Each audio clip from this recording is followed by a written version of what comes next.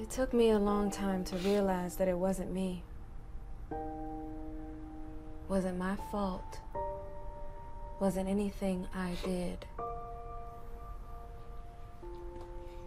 People just want to be acknowledged. They want you to feel how they feel. Somebody crying just hopes you've been there too. Somebody laughing just wants you in on the joke. And somebody broken and screaming just wants you to listen.